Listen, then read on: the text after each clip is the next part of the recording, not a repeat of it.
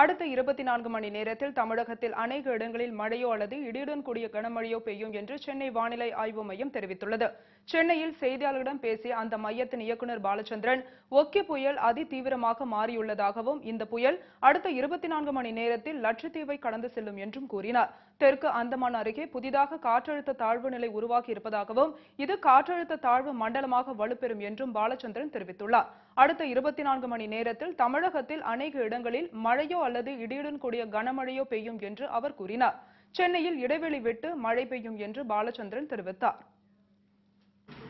ஒக்கி புயல் தீவிர புயலாக வலுவடைந்து இன்று டிசம்பர் ஒன்றாம் தேதி காலை எட்டரை மணி அளவில் லட்சத்தீவுகள் பகுதியில் உள்ள அமினி தீவி